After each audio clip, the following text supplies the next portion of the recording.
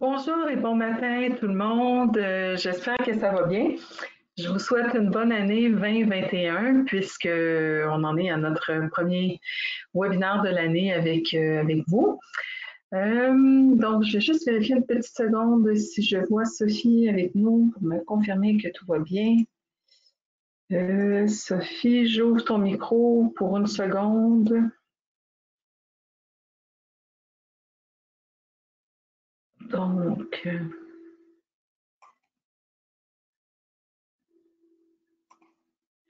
Sophie, peux-tu juste me confirmer que tout est beau de ton côté?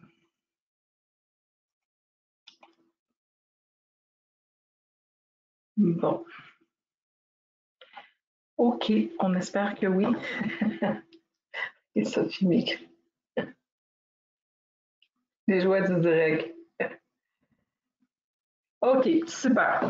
Donc, euh, on va procéder sans plus tarder. Ce matin, on va, on va, on va parler de stress ensemble. Euh, je vais faire le tour de quelques produits stress. On va redonner une petite définition du stress. Et on a un nouveau produit aussi qui s'appelle le cortisol adapt, qui n'est pas dans la présentation, mais j'avais déjà fait une présentation euh, dans le cadre de nos 7 à 8. Donc, on a, euh, on en a un ce soir d'ailleurs sur la vitamine D, mais on va avoir deux fois par mois des rencontres d'une heure. Et durant ces rencontres, je vais couvrir plus en détail un produit durant une vingtaine de minutes et ensuite, on se donne le temps d'échanger. Euh, je réponds aux questions. Quand je fais ça, j'éteins l'enregistrement pour qu'on soit vraiment entre nous. Et puis, euh, donc, on en avait fait un sur le cortisol adapt.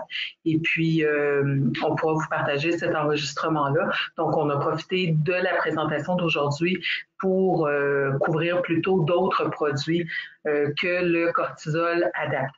Donc, euh, on est sur la plateforme GoToWebinar. À droite, dans le panneau euh, de contrôle de votre, écran, euh, vous retrouvez normalement le, handout que je vais mettre à la fin. Sinon, Sophie pourra aussi vous le faire parvenir. Donc, le PDF de la présentation. Pour aujourd'hui, vous allez tout simplement le suivre avec moi. Je vais maintenant partager mon écran avec vous et on va débuter la présentation. Sophie, arrête de m'écrire. donc, euh, donc, donc, donc, attendez-moi un instant, slideshow. J'ai été déconcentrée par ma collègue euh, du début.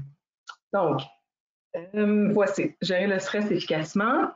Et comme je vous disais, on va suivre à l'écran et puis Sophie pourra vous faire parvenir le document au besoin. Alors, euh, bon, le dégagement de responsabilité, vous savez, c'est des trucs qu'on est obligé de vous lire. Là. Le contenu de cette formation n'a pas été évalué par la Direction des produits de santé naturelle et sans ordonnance du Canada. Les suppléments mentionnés ne sont pas destinés à diagnostiquer, traiter, guérir, atténuer ou prévenir une maladie quelconque. Seules les allégations nutritionnelles figurant sur l'étiquette de chaque supplément ou sur le site web de la DPSN pour les produits homologués au moyen numéro de produits naturels sont autorisées. Et la propriété intellectuelle, évidemment, le document euh, a été euh, fait par moi pour avoir, donc vous avez besoin de permission pour partager l'information.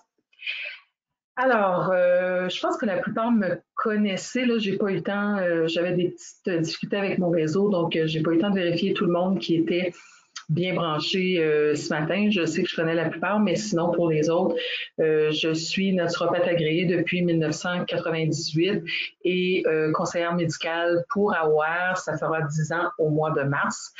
Et donc, je m'occupe de tout l'aspect technique d'AWARE, donc rédaction de contenu évidemment pour les, les webinaires, euh, le blog français-anglais, je fais des traductions, je fais euh, les fiches techniques que vous avez sur les produits. Donc, c'est mon rôle chez Aware et Sophie euh, est la représentante pour le Québec. Donc, tout ce qui est l'aspect plus commercial, les ouvertures de compte, les retours de produits, ces choses-là, c'est avec Sophie. Alors, pour me joindre, c'est euh, cduma.naturopathe. je viens de mêler mes deux adresses courriel sédiment.aware.ca. Moi, je ne suis pas une fille matinale, je suis une fille de soir, donc euh, il va falloir, euh, il falloir dealer avec mes, avec mes petits, euh, mes petits bifurcages de langue ce matin. Alors, notre plan, qu'est-ce que le stress? Mise en contexte, impact du stress, gérer le stress? On va parler évidemment de l'axe hypothalamo-hypophysio-surrénalien euh, et les ressources qu'on vous propose chez AWARE. D'abord, qu'est-ce que le stress? Vous avez probablement déjà tous entendu parler d'Anne Cellier parce que c'est un chercheur montréalais. C'est lui qui nous a donné la première définition du stress dans les années 1920. Euh, Donc lui, euh, ce qu'il avait déterminé, évidemment à l'aide d'études sur les rats de laboratoire et tout ça, c'est que le stress était une contrainte non spécifique sur le corps causée par des irrégularités dans son fonctionnement normal. Autrement dit, lorsqu'il perturbait les souris de différentes façons, ils ont vu qu'il y avait la sécrétion des hormones de stress. Alors, pourquoi non spécifique? Parce que peu importe que c'était par du bruit, peu importe que c'était par euh, des changements de température, le corps réagissait de la même façon. Donc, c'est pour ça qu'il mentionne, c'est une contrainte non spécifique. Autrement dit, qu'on fasse face à un stress euh, psychologique, à des changements de température quand on rentre, qu'on sort l'hiver, euh, aux alarmes qu'on reçoit sur notre téléphone euh, pour nous dire qu'on a maintenant un couvre-feu, eh bien, le corps réagit exactement de la même façon, ce qui fait que le cumul de ces événements-là va aussi être reçu de la même façon. Ensuite, John Mason est arrivé, lui a rajouté la notion vraiment de stresseur psychologique et euh, en disant que c'était tout aussi puissant que le stress physique. Mais oui, parce que évidemment chez les souris et tout, euh, on peut aller jusqu'à un point avec le stress psychologique. Mais quand on a commencé à étudier chez des humains, John Mason était un médecin, bien on a vu que non seulement les différents stress physiologiques, physiques, vont engendrer cette réponse de l'organisme, mais les stresseurs psychologiques également. Alors, le stress, on le sait, le corps est très bien pourvu pour faire face à des stress, mais tant qu'il reste occasionnel. Parce que notre biologie, notre biochimie a très peu évolué depuis des millénaires. Notre cerveau a très peu évolué depuis des millénaires, mais imaginez juste de notre vivant les changements au mode de vie, les changements auxquels on a dû s'adapter.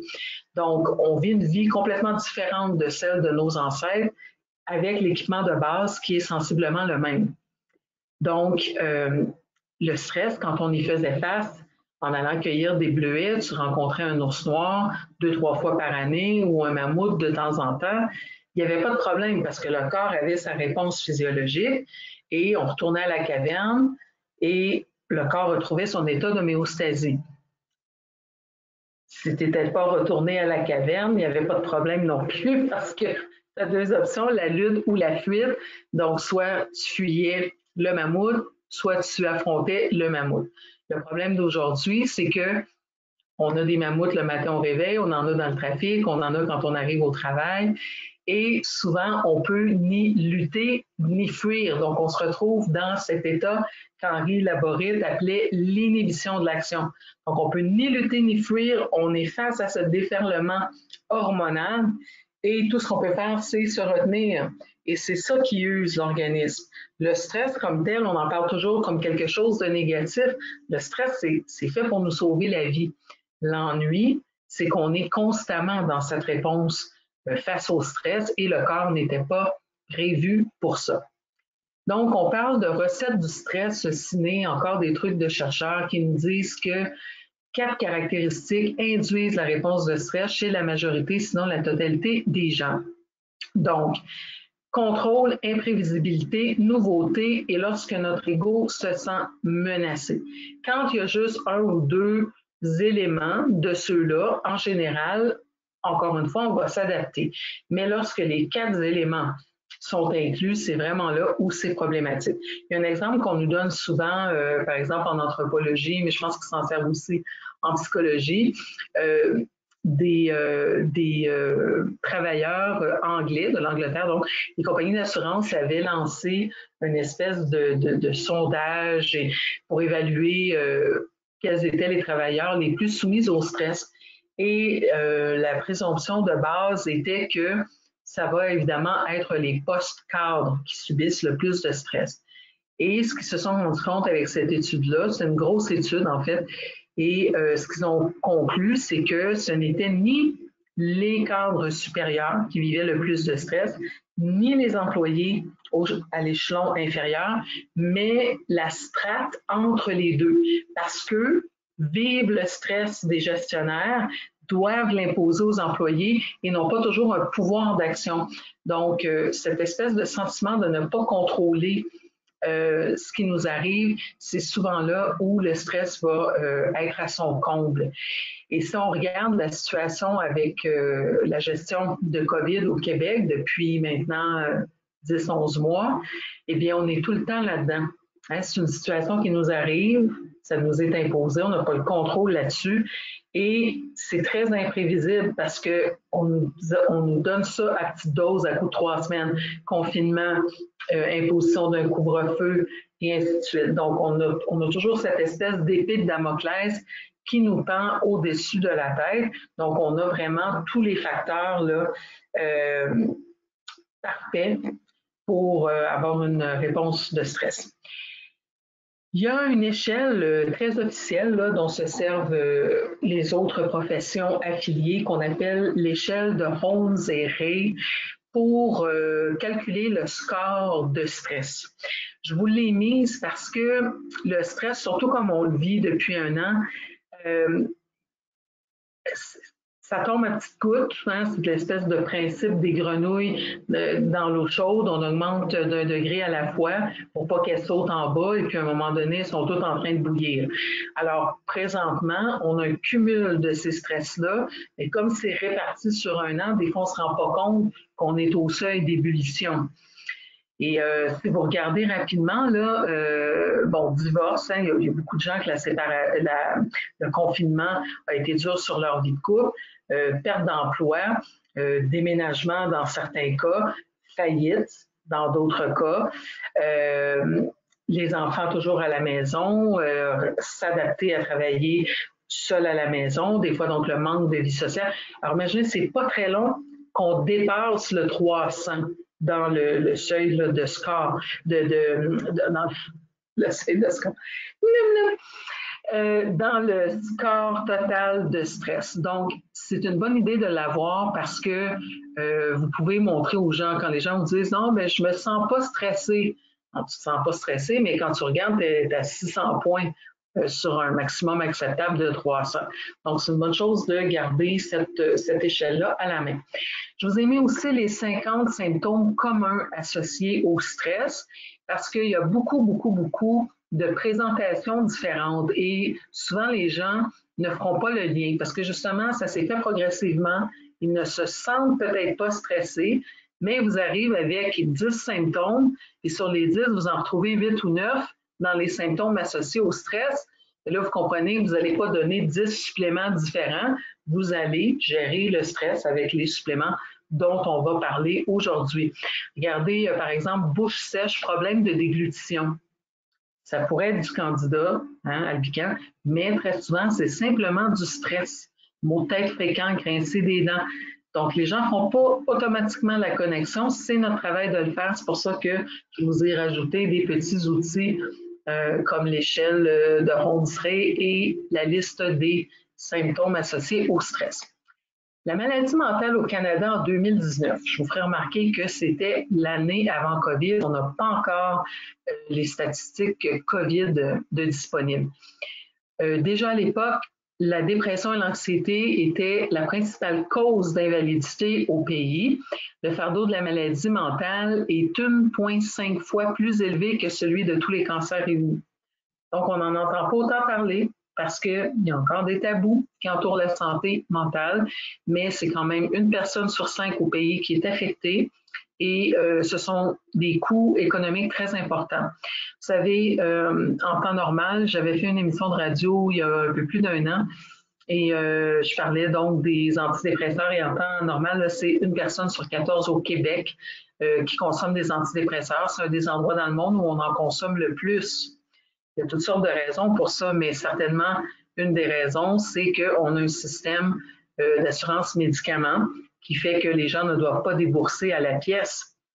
Hein. Donc, euh, c'est facile de se tourner vers cette approche-là. on n'a pas beaucoup aussi de disponibilité en termes de psychothérapeutes, de, psychologues euh, au public. Donc, les gens qui ne peuvent pas se le payer au privé se retrouvent souvent dans cette, espèce de gouffre qui est euh, le, gouffre des médicaments psychotropes. Donc, c'était une personne sur 14 et les statistiques du mois d'octobre pour le Québec, euh, il y avait 700 000 prescriptions d'antidépresseurs qui avaient été euh, remplies à la RAMQ. Et ça, c'était seulement donc pour le régime de la RAMQ. Alors, imaginez que vous rajoutez tous les gens qui ont une assurance privée, euh, pour les médicaments, ça veut dire qu'on touche certainement le million euh, de prescriptions complétées au mois d'octobre.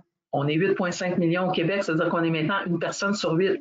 Imaginez de 1 à 4, 1 sur 14, qui était déjà un des seuils les plus élevés au monde, on est passé à 1 sur 8.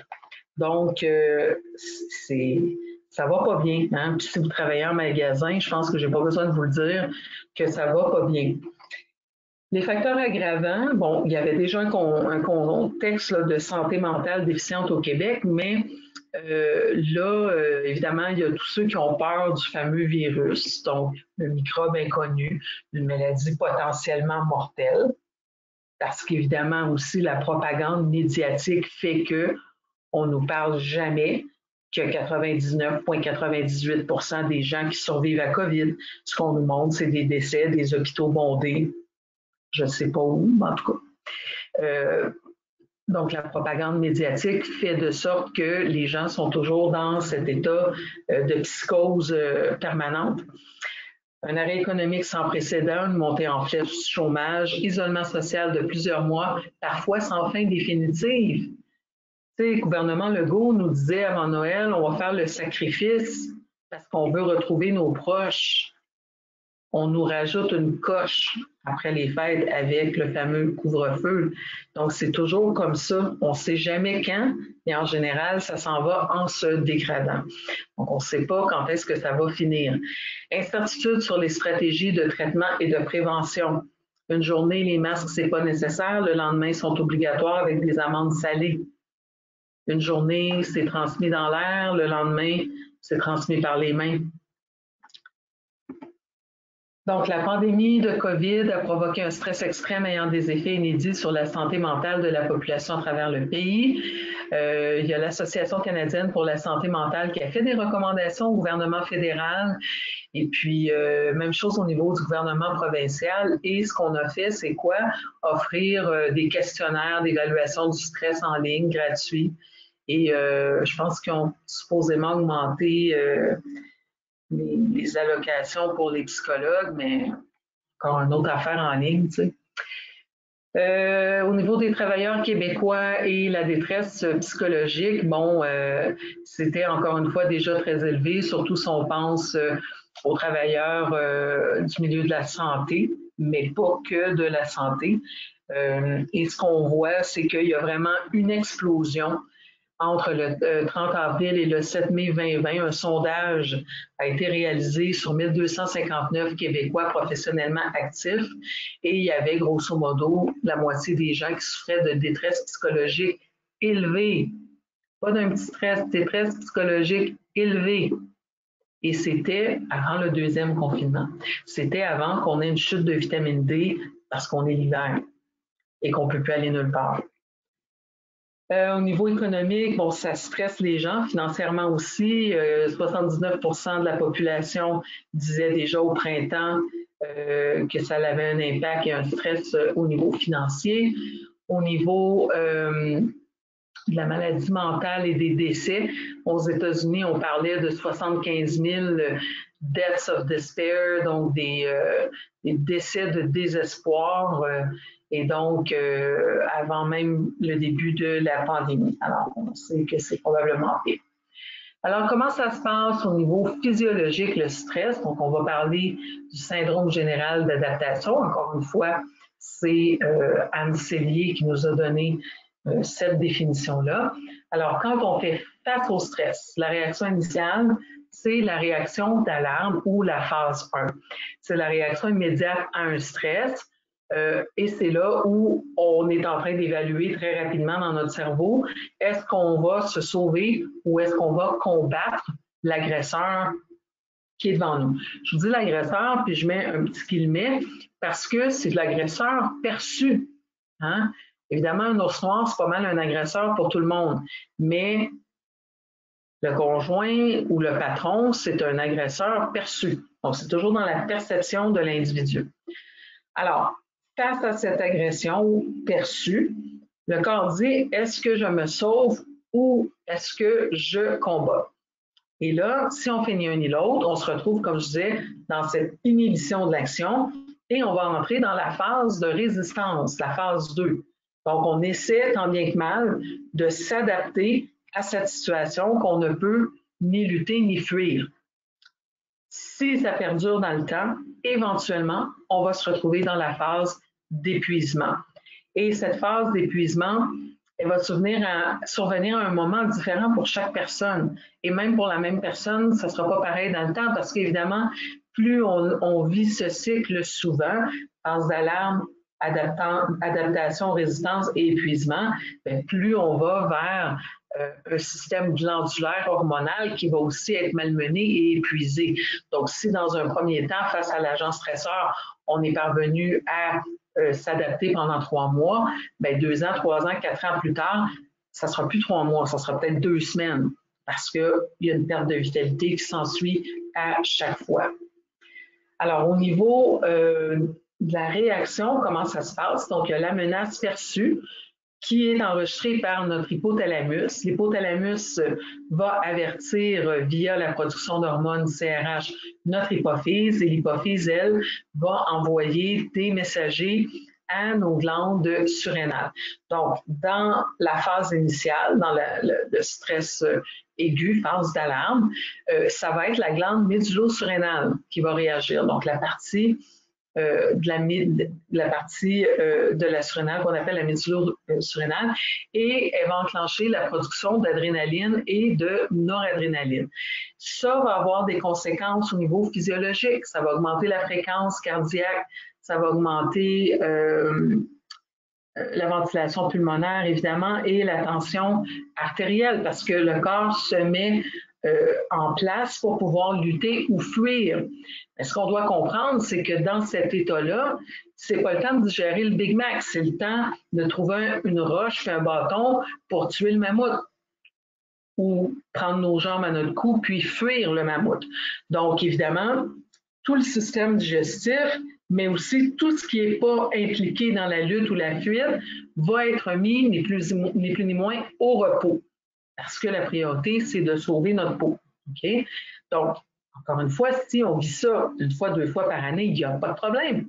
Mais si on est constamment en état de stress chronique, face au conjoint, face au trafic, face au mammouth au bureau, en revenant euh, du travail, ou encore parce qu'on est à la maison et les enfants crient, font du bruit, chicanent toute la journée, eh bien, vous comprenez que pendant ce temps-là, la digestion ne se fait pas, les cheveux ne poussent pas, les ongles ne se renouvellent pas, le métabolisme osseux ne se fait pas. Alors, si on n'adresse pas le stress chronique, d'où l'intérêt d'avoir une échelle et tout ça, et voir si est-ce que la personne qui est devant nous est en état de stress chronique, même si elle pense qu'elle n'est pas stressée, eh bien, vous ne pourrez pas, par exemple, euh, enclencher la production d'acide chlorhydrique. Le corps ne fabrique pas d'acide chlorhydrique qui est en état de lutte ou de fuite. Vous ne pourrez pas résoudre le problème d'ostéopénie, d'ostéoporose, parce que le corps n'est pas en train d'envoyer les minéraux euh, dans les os pour se renouveler. Il envoie les minéraux dans le système cardiovasculaire pour qu'on soit préparé à lutter ou à fuir. Dans le système nerveux, même chose pour la transmission de l'influx nerveux. Donc, si on ne résout pas le stress, on ne peut rien faire d'autre. Et comme je vous disais en ce moment, c'est ça que les gens vivent, le stress. Donc, si vous n'adressez pas ça, et vous voulez donner des protocoles d'ostéoporose, euh, des protocoles de système digestif, des protocoles de sommeil, eh bien, bonne chance parce que le problème de base, la cause de la cause, n'est pas adressé. Donc, ça, c'était pour la phase aiguë. Dans la phase de résistance ou le stress chronique, ça va être plutôt la cortico-surrénale qui va être impliquée et c'est là où le cortisol va être produit. Donc, le stress chronique fait souvent plus appel au cortisol. C'est important, cette distinction entre glande cortico-surrénale et médullo-surrénale, parce que quand on donne un extrait glandulaire, idéalement, c'est d'avoir les deux parties de la surrénale parce que les deux n'ont pas la même fonction et les deux euh, sont nécessaires au rétablissement de l'organisme. Donc, au niveau de la réponse euh, physiologique, là, quand on produit euh, le cortisol, les glucocorticoïdes, qu'est-ce qui va se passer? Bien, on a tout le détail au niveau du système nerveux. Et ce que je voulais vous pointer ici, c'était l'impact au niveau du système immunitaire. Donc, on est dans cette situation en ce moment où le corps est en état de stress chronique, mais où, paradoxalement, il faudrait que notre immunité fonctionne de manière optimale. Encore une fois, de donner un paquet de suppléments, les gens veulent tous prendre des choses pour booster leur système immunitaire. S'ils n'ont pas adressé le stress, ça ne donnera pas grand-chose. Donc, qu'est-ce qu'on voit au niveau du stress et du système immunitaire? Eh bien, il y a une réponse diminuée de l'immunité, diminution des premières lignes de défense, diminution de la production d'anticorps et une augmentation des risques d'infection. Alors, vous voulez booster votre système immunitaire, on va commencer par réduire votre taux de stress. L'impact du stress sur le cortisol, eh bien, euh, évidemment, le cortisol va faire qu'on va sécréter certaines hormones de manière euh, accrue. Syndrome inflammatoire, le cortisol contrôle l'inflammation dans le corps. Donc, si on prend euh, si on est toujours en état de stress chronique, eh bien, l'inflammation va être beaucoup plus présente au niveau de notre organisme l'affaiblissement de l'immunité, on en a parlé, déminéralisation. Un autre des impacts du, cortisol aussi, c'est que le cortisol va saper notre glutamine. La glutamine, vous savez qu'on en a besoin, c'est la première nourriture des entérocytes, donc des, cellules qui tapissent la paroi de notre système digestif. Donc, le cortisol va avoir un impact sur la porosité intestinale.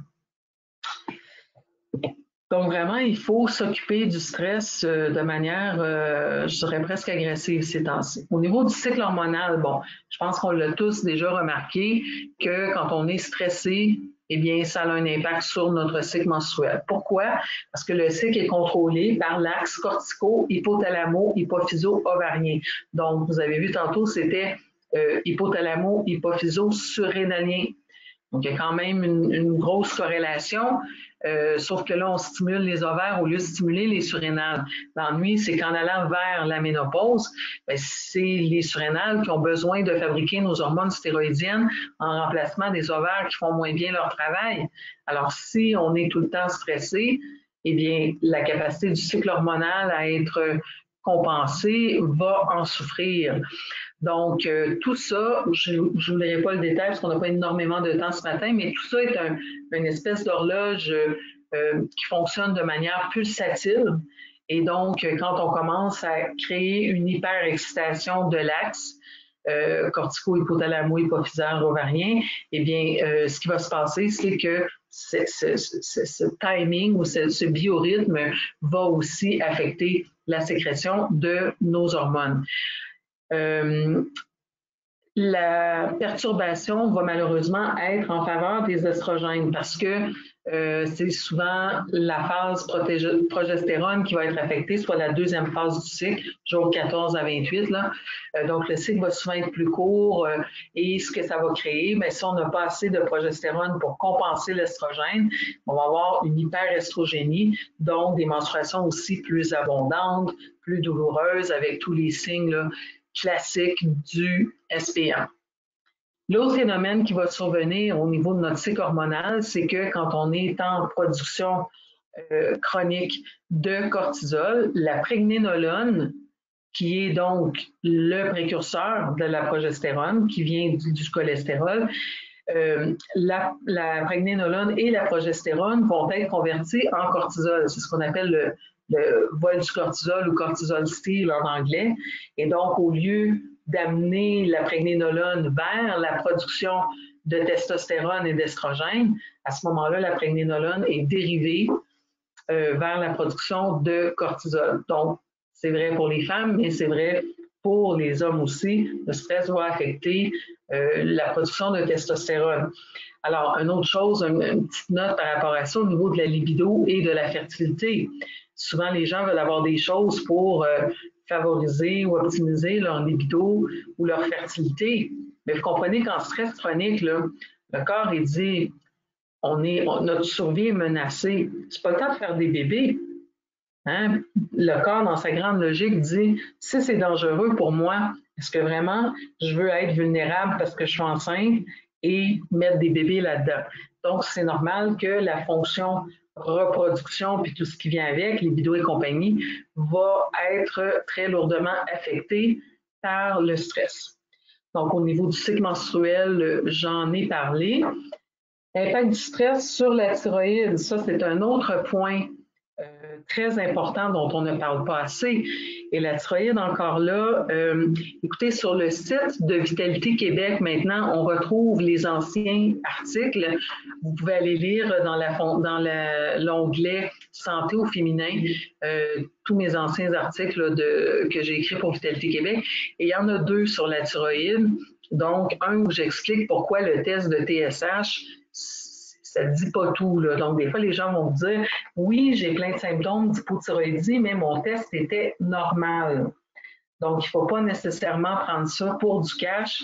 S'il y a du stress chronique et que les symptômes d'hypothyroïdie sont présents, je vous dirais, supporter la thyroïde, il ne va rien se passer de grave si vous donnez du tyrosport et que la personne n'était pas vraiment en hypothyroïdie. Même chose, si elle prend du synthroïde, le synthroïde, c'est de la T4 et la T4 doit être convertie en T3 pour être active. Quand le cortisol est élevé, ça bloque la conversion de T4 en T3. Donc, même si elle prend du synthroïde, si elle est en état de stress chronique, eh bien, malheureusement, le synthroïde ne fera pas le travail parce qu'elle n'aura pas la forme T3 des hormones thyroïdiennes qui vient euh, à bout de se fixer au récepteur à hormones thyroïdiennes. Donc, très important de supporter la glande thyroïde quand on est en état euh, de stress chronique. Donc, vous avez les symptômes ici de l'hypothyroïdie. Euh, un autre point, c'est si on a une température au réveil le matin de manière régulière en bas de 36,5 température buccale, ça aussi c'est un signe. C'est pas 100% parce que la basse température peut aussi être associée, par exemple, à la carence en progestérone, mais euh, souvent, ça nous donne une idée, surtout s'il y a d'autres signes d'hypothyroïdie qui sont présents. Donc, on a beaucoup parlé du stress, comment ça se manifeste, pourquoi ça se manifeste, quel va être l'impact sur notre corps. Maintenant, qu'est-ce qu'on fait avec ça? Je vais quand même prendre, euh, même si on est des gens dans le domaine de la santé, mais une, petite minute pour euh, parler des approches qui ne sont pas les suppléments. Euh, la première chose pour moi, c'est vraiment ce que, je dis aux patients, c'est let go and let God. on avait vu tout à l'heure que la question de ne pas se sentir en contrôle fait partie des agents stresseurs. Mais à un moment donné, il faut juste accepter qu'on n'a pas le contrôle sur la situation, par exemple la situation COVID en ce moment, et dire, bon, la partie que je peux contrôler, c'est quoi? La partie euh, que je peux encore faire pour moi. Je suis encore capable d'aller prendre une marche pendant 20 minutes, 3 à 5 fois par semaine, si c'est tout ce que je peux faire. Évidemment, plus on en fait, mieux c'est. Est-ce que je suis encore capable d'aller prendre des marches? J'ai encore accès à Internet, je peux encore connecter avec des gens, échanger, trouver de l'information. J'ai vu dernièrement plein de visites de musées, de villes qu'on peut faire en ligne. Évidemment, on ne peut plus aller prendre un café au resto avec des amis. Qu'est-ce qu'on va faire pour pallier à ça? Donc, au lieu d'essayer de voir ça va être quoi après, ça va être quand après, puis focuser sur tout cet aspect qu'on ne peut pas contrôler, c'est essayer de reprendre le pouvoir sur au moins les aspects qu'on peut. Ensuite, éviter l'isolement autant que faire se peut. On est des êtres sociaux et euh, cette situation est vraiment pas normale pour nous. Euh, quand on parle, quand on partage avec des gens, ça nous fait sécréter de la sérotonine, donc ça contribue à notre état de bien-être.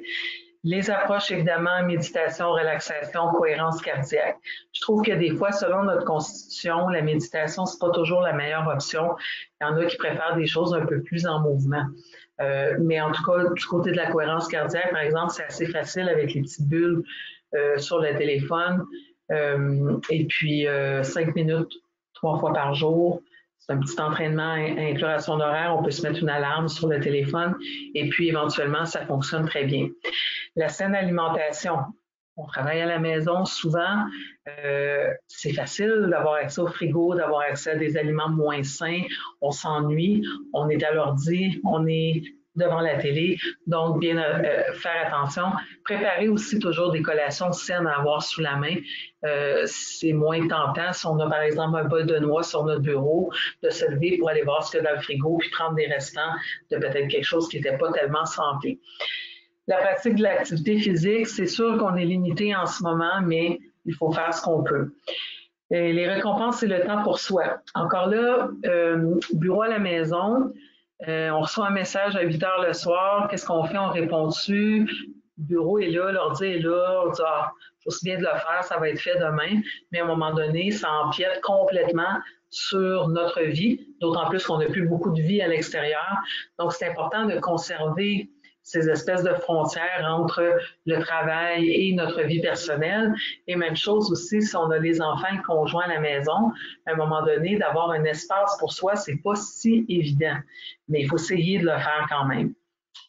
Améliorer le sommeil, bien, une des choses, c'est de ne pas être à l'ordi au moins 90 minutes avant l'heure du dodo réduire le temps d'exposition comme tel aux électroniques, incorporer les suppléments de qualité et ciblés. Euh, on a une présentation, j'ai oublié de vérifier la date, mais si vous allez sur euh, aware.ca webinaire en français, euh, vous allez voir les prochains webinaires. Je pense que je l'ai déjà créé celui du blueprint. Sinon, on va vous faire parvenir ça. Une autre petite chose aussi, si vous n'êtes pas déjà inscrit à mon infolette, allez vous inscrire. C'est tout simplement chantalandumas.com. Vous arrivez sur mon site web, vous allez vous inscrire à l'infolette et euh, elle sort au début du mois. Et le 15 du mois, c'est celui de l'Académie internationale de santé globale, donc mon académie de formation on part une nouvelle cohorte ce samedi, donc le 23 euh, janvier.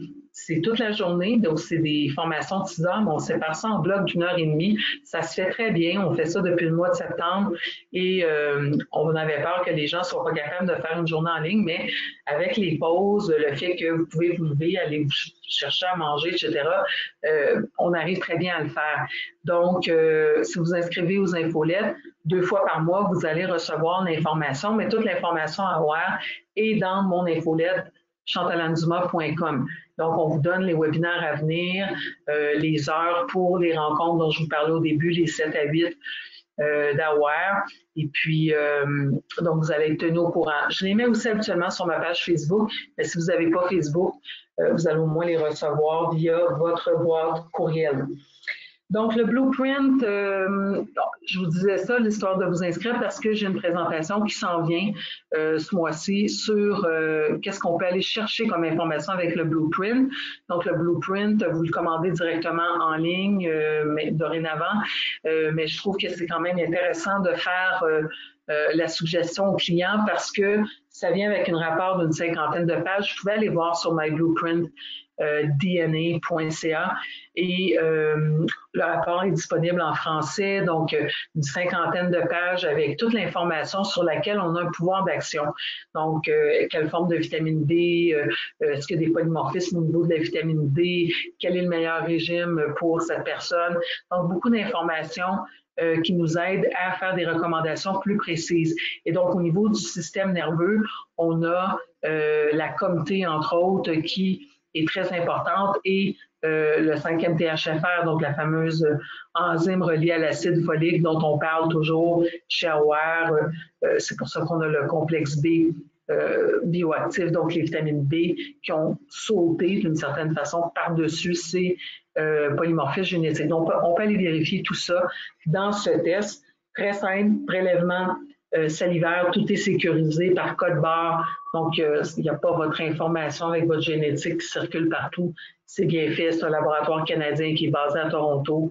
Et c'est nous, chez AOR, qui avons conçu euh, le programme. Donc, on est allé vérifier pour des variations génétiques qui étaient pertinentes en termes de naturopathie. C'est pas comme un test 23andMe qui a été fait pour le pharmaceutique. Ici, on vérifie toutes des choses, comme je disais, euh, les variations au niveau de la vitamine D, au niveau de la vitamine D, du fer, donc des choses qui sont pertinentes au natural.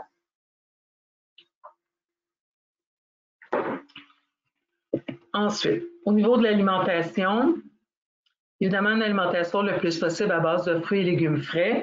Ceci étant dit, faire attention à l'apport en protéines. Vous savez que les neurotransmetteurs, autant les neurotransmetteurs calmants comme la sérotonine et le GABA, nous proviennent des protéines.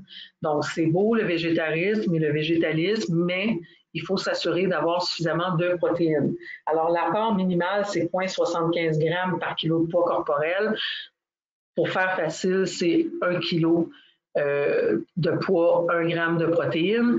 Et quand on fait des bilans alimentaires, là, vous allez voir que la majorité des femmes consomment 35-40 grammes de protéines par jour. Alors, si on a un poids de 70 kg, ça veut dire qu'on est carencé euh, de 30 grammes, quasiment la moitié des protéines dont on a besoin à tous les jours de notre vie. Donc, imaginez l'impact de ça à la longue. Alors, le corps a besoin de créer une structure. Hein, donc, on va prendre des protéines pour euh, faire du collagène, pour donc notre masse osseuse, notre peau. Euh. alors, la priorité, ça ne sera pas le sommeil, ni le calme intérieur, ça va être notre structure. Donc, imaginez euh, quand vous manquez de la moitié de l'apport en protéines dont vous avez besoin tous les jours, c'est sûr que votre système nerveux ne sera pas en bon état. Votre système immunitaire non plus, les immunoglobulines, c'est fait avec euh, des protéines. Euh, sex hormone binding globulin, le transport des hormones se fait avec les protéines. Donc, toutes ces choses-là vont être affectées par une carence en protéines. Même chose si les gens consomment suffisamment de protéines, mais consomment aussi des inhibiteurs de l'acide chlorhydrique, des médicaments antiacides, des inhibiteurs de la pompe à protons, des UPP, et que ça bloque la production d'acide chlorhydrique, eh bien, ça va bloquer aussi l'absorption des protéines, des minéraux, des acides gras, donc toutes des choses qu'on a besoin pour notre système nerveux, donc pour faire face au stress. Ensuite, les, euh, les aliments riches en vitamine B, ben, c'est l'enveloppe des céréales entières. Euh, attention, s'il y a une intolérance au gluten, il faut évidemment enlever le gluten, donc on n'a plus tant de choix. Euh, attention aussi au sucre, comme je disais, c'est facile à la maison d'être porté vers les sucres. Et les sucres, ben, ça va être catastrophique au niveau du stress parce que le sucre va créer un déclenchement de production euh, d'insuline pour ramener la glycémie à la normale et à la longue, le pancréas se fragilise et en produit trop. Et donc, on est en hypoglycémie. L'hypoglycémie pour le corps, c'est un stress important. Donc, le corps va sécréter de l'adrénaline pour, à ce moment-là, remonter le niveau de, glycémie. Alors, imaginez à la longue, on peut épuiser les surrénales simplement dans cette espèce de jeu de sécréter de l'adrénaline pour ramener notre euh, niveau euh, de sucre à la normale. L'activité physique, mais comme on l'a vu, c'est pas évident avec euh, les restrictions COVID, mais ça reste quand même l'antidépresseur le plus sous-utilisé. donc, l'activité physique, évidemment, va nous aider à libérer des endorphines, mais pas que ça. Il y a tout l'aspect gain de confiance, on se sent bien, l'estime de soi quand on fait de l'activité physique. il y avait tout l'aspect social aussi, mais bon, il y a peut-être moyen surtout pour les gens seuls, que l'activité physique, même si c'est une marche au parc, si on peut le faire avec d'autres personnes, que ça soit une façon euh, de reconnecter avec les gens autour de nous, ou même en famille. Hein. On a passé la journée à chicaner les enfants parce qu'on essayait de travailler, peu importe, d'aller prendre une marche, de faire une activité avec eux dehors, ou est-ce que euh, non seulement on se fait du bien, mais on change la dynamique aussi de la maison. Donc, euh, dans des études cliniques, vous le savez sûrement, l'activité physique se compare favorablement aux antidépresseurs comme traitement de première intention pour traiter la dépression légère à modérée. Donc, c'est aussi efficace que les antidépresseurs. Croyez-vous que les 700 000 prescriptions d'antidépresseurs qui ont été délivrées au mois d'octobre euh, n'aurait pas pu avantageusement, dans une grande majorité des cas, être remplacé par l'activité physique? Faut se poser la question. Ensuite, adopter les adaptogènes. Donc, les adaptogènes, c'est soit des plantes comme le gingembre, comme le rhodiola, comme la ashwagandha, ce sont nos adaptogènes classiques, qui vont permettre à notre organisme de mieux faire face au stress. Donc, selon les plantes auxquelles on va avoir recours. On va travailler de manière plus spécifique sur la phase 1, la phase 2 ou la phase 3. Évidemment, la personne, quand elle se présente devant nous en magasin, ne nous dit pas je suis en phase de résistance au stress ou je suis en phase d'épuisement. Elle va nous parler de ses symptômes. C'est à nous de faire les liens. Mais il y a aussi qu'on ne reste pas figé dans une phase très souvent dans la journée, dans la semaine, dans le mois, on va faire le tour un peu des différentes phases. Alors, c'est bien euh, d'avoir recours à des mélanges, par exemple, des différents adaptogènes pour s'assurer qu'on a à ce moment-là les bonnes plantes, les bonnes substances pour faire face aux différentes euh, phases du stress. Donc, à part les plantes, on a évidemment nos extraits glandulaires euh, qui fonctionnent très bien. Moi, j'ai travaillé pendant neuf ans dans une clinique d'hormonothérapie bioidentique où on faisait beaucoup de tests salivaires pour les hormones, incluant le cortisol. Et dans mon expérience clinique, les extraits glandulaires sont ce qui fonctionne de manière plus performante, autant à court terme que pour les cas chroniques d'épuisement. Évidemment, si les gens ont des objections philosophiques, on est végétarien, on est végétalien, certaines religions, ou on ne veut pas consommer euh, d'extrait glandulaire, eh bien, on a un mélange comme l'orthoadapt euh, en version végane, végétarienne, euh, d'un point de vue clinique, strictement clinique, ce sont les extraits glandulaires qui vont euh, performer le mieux en termes de régulariser le plus rapidement possible les surrénales et également de nourrir la surrénale parce que les plantes adaptogènes vont moduler la réponse du stress, vont moduler la libération des hormones, mais ne vont pas vraiment nourrir la surrénale, alors que l'extrait glandulaire, c'est ça qu'il va faire. Alors, une des plantes adaptogènes euh, possibles, c'est euh, somnifera, donc la ganda. Euh, la ganda, donc une plante qui vient de la pharmacopée ayurvédique qui existe depuis euh, 14 000 ans à peu près, et donc euh, très bien connue comme adaptogène pour faire face au stress. C'est une plante qui travaille le plus au niveau de la deuxième phase, donc vraiment la phase d'adaptation, la phase de résistance, et euh, particulièrement appropriée pour euh, nos constitutions nerveuses. Donc, les petites madames, périménopause, jeunes mères de famille, donc qui vivent du stress, de l'anxiété, euh, c'est souvent une belle plante à recommander. Ça fonctionne aussi pour les hommes. Euh, les hommes, on a souvent plus tendance à recommander le ginsan, qui est une plante beaucoup plus yang, mais on pourrait aussi donner euh, la ashwagandha sans problème. Ce qui est bien, pourquoi j'ai pris celle-là, parce qu'on en a évidemment plusieurs euh, adaptogènes chez Aware, c'est que l'ashwagandha a un impact au niveau de l'immunité. C'est aussi démontré euh, dans les études cliniques. Donc, tant qu'à prendre une plante pour améliorer euh, le stress dans un contexte de pandémie, aussi bien en prendre une qui va aussi avoir un impact au niveau du système immunitaire. Alors, ce qu'on recommande chez nous, c'est le Ganda 600, donc 600 mg d'un extrait standardisé euh, d'ashwagandha. C'est important parce que, vous savez, si on prend juste la poudre, je sais des fois les gens vont me dire, je vais commencer à faire des, des, tisanes, des infusions d'ashwagandha. Ben, c'est bien, j'aime mieux que la personne prenne ça, qu'elle prenne un stimulant, mais il faut voir qu'on ne peut pas prétendre atteindre les résultats que les études cliniques nous disent avec une racine réduite en poudre parce que à ce moment-là, vous avez toute la cellulose, la racine, vous avez toute la plante entière, donc la quantité de précédent actif est minimale.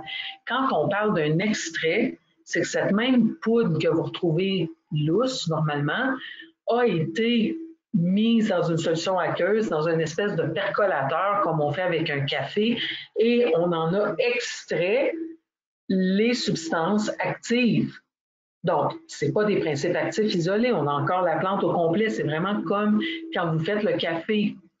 Quand vous faites le café, toute la substance de base, elle est finie, à, vous l'achetez dans vos plantes après, mais ce que vous avez extrait, ce n'est pas que de la caféine, mais vous pouvez mesurer 45 mg de caféine dans votre tasse de café. C'est une des façons de savoir que l'extraction s'est bien faite dans votre percolateur. Hmm? Donc, c'est exactement le même principe avec un extrait de plante. On part d'une grande quantité de plantes, on extrait via différents solvants, eau, alcool, selon la méthode d'extraction, pour arriver à la fin avec une concentration des principes actifs sans cellulose et les autres principes de la plante qui servent à sa, carcasse, mais qui, n'ont pas de propriétés euh, physiologiques pour nous. Donc, un extrait est par définition une concentration beaucoup plus grande que de la poudre lousse. Alors, même chose quand vous avez des capsules d'ashwagandha qui ne sont pas un extrait, c'est la même chose que la poudre que vous faites une tisane qui a été mise dans des gélules. Un extrait est maintenant une concentration de ces principes actifs. Et si vous le standardisez, c'est que vous allez vérifier à ce moment-là la quantité précise des euh, principes actifs qui sont supposés donner les propriétés qui nous intéressent. Encore une fois, ce ne sont pas des principes isolés, sauf par exemple dans le cas de la curcumine. Euh, donc ici, on parle d'un extrait, on parle euh, de 600 mg par capsule et on l'a standardisé en deux principes actifs, les principes anti-inflammatoires et anti-stress, le witanolide et le cytoindoside. Alors, évidemment, si vous essayez de comparer un extrait standardisé en deux principes actifs à 600 mg par gélule à des gélules qui contiennent juste la poudre. Vous comparez des pommes et des oranges. Faire attention à ces points-là. La raison pour laquelle je vous mentionne tout ça, c'est que des fois, les gens vont dire ils ont écouté mon webinaire, puis ils vont dans un autre produit parce qu'ils n'ont pas celui-là en magasin. là, ils ont recommandé de la poudre mise en gélule. Vont dire, ouais, mais j'ai pas eu de résultat. Ouais, mais vous n'avez pas utilisé ce dont je vous ai parlé. Donc, c'est important de vraiment aller avec les critères qui vont faire qu'on va avoir une efficacité clinique. L'autre point que je vais vous mentionner, quand vous regardez les étiquettes d'AWARE, on vous met toujours le compte de capsule pour un mois à la dose optimale. Donc, vous voyez ici, on parle de 120 capsules dans la bouteille. Alors, si vous comparez ça avec une bouteille qui en contient 30, évidemment, on n'est plus dans les mêmes paramètres du tout, du tout. Alors, 120, ça veut dire quoi? Ça veut dire si on calcule trois jours, ça veut dire qu'on pourrait recommander quatre par jour. Évidemment, on n'est pas obligé de donner quatre par jour. La plupart du temps, le Ganda, moi, je travaille à deux par jour. C'est très rare qu'on va devoir en donner quatre. Alors, ça veut dire que vous auriez deux mois dans votre bouteille de Ganda. Une autre plante adaptogène intéressante, c'est le rhodiola. Le rhodiola va travailler euh, beaucoup dans la phase euh, euh, d'élévation de, cortisol, donc intéressante pour le stress un petit peu plus chronique, intéressante pour tous les stress, mais si on est en état de stress un peu plus chronique, je pense que la population mondiale est en état de stress chronique après 11 mois de pandémie. Donc, euh, le rhodiola est certainement une plante intéressante et un peu comme la chouaganda, elle a des propriétés euh, au niveau de l'immunité antivirale, antioxydante, anti-inflammatoire. On s'entend que le rhodiola n'a pas l'efficacité, par exemple, euh, de l'origan en termes de plantes antivirales. C'est des métabolites ou des propriétés secondaires. Mais, encore une fois, tant qu'à donner une plante pour le stress, aussi bien faire d'une pierre deux coups. Alors, je vous parlais du processus de standardisation. Pourquoi c'est important? Bon, par exemple, dans le cas euh, euh, de, la rhodiola, normalement, on identifiait la salidroside comme le principal principe actif de la rhodiola. Ce qu'on s'est rendu compte éventuellement, c'est que euh, il y avait un autre principe actif qui était très intéressant, qui est la rosavine, mais la rosavine, elle était exclusive à la variété rosea. Donc, rhodiola rosea, parce qu'il y en a d'autres types de rosea. Et donc, certaines espèces de rhodiola trouvées en Chine et ailleurs contiennent du salidroside, mais pas de rosavine. Donc, c'est une autre façon pour vous de, euh, quand vous regardez un principe actif euh, de la plante, de vérifier la qualité de la plante. Donc, dans ce cas-ci, le rhodiola qui est standardisé dans les deux principes actifs, ben, vous savez que c'est du rosea et que c'est une qualité de plante. Alors, pour qu'il soit standardisé correctement, ce sera au moins 3% de rosavine et 1% de salidroside. Alors, on a la l'ashwagandha tout seul, le Ganda 600. On a le rhodiola tout seul, à ce moment-là, 170 mg par capsule, ou on a un heureux mélange des deux, qui est un des produits euh, que je préfère, qui est le Relax and Recharge. parce qu'à ce moment-là, on couvre plus large, hein, plus première et deuxième phase ensemble, et avec une quantité euh, plus élevée de rhodiola parce que l'on a du 200 mg au lieu du 170. Par contre, il y a moins d'ashwagandha. On est à 200 mg d'ashwagandha versus 600 pour euh, le produit d'ashwagandha tout seul. Mais la synergie des deux plantes fait que c'est quand même très performant. Donc, si vous ne le connaissez pas, Relax and Recharge, un produit à considérer. Donc, parce que deux plantes qui agissent de manière complémentaire au niveau du stress, mais au niveau de l'immunité aussi. Ensuite, notre autre euh, gros vendeur chez Aware pour le stress, c'est le Ortho Adapt. C'est probablement un produit que vous connaissez déjà. Euh, et encore ici, on va retrouver un mélange de rhodiola et de euh, d'ashwagandha dans des dosages évidemment un peu moins élevés. On va retrouver le ginsan sibérien, on va retrouver la réglisse. Donc la réglisse et le ginsan vont servir à fouetter euh, durant la phase d'épuisement. On ne parle pas ici de réglisse déglycérisée, mais bien de la réglisse conventionnelle qui va avoir donc ce petit effet de fouet au niveau euh, de la surrénale dans la phase d'épuisement. Euh, on retrouve dans l'extrait glandulaire le cortex et la médula, donc les deux parties de la glande. On a un dosage de 125 mg d'extrait glandulaire par capsule. C'est le dosage qui est le plus élevé sur le marché. Donc, euh, très bonne qualité de principe glandulaire, ce sont des glandes euh, porcines qui nous proviennent du Danemark. Évidemment, tout est testé. Les glandes sont prédigérées par un processus euh, enzymatique, filtration, lyophilation. Tout est fait évidemment dans les règles de l'art. C'est un produit à avoir. Donc, 125 mg d'extrait surrénal complète par capsule.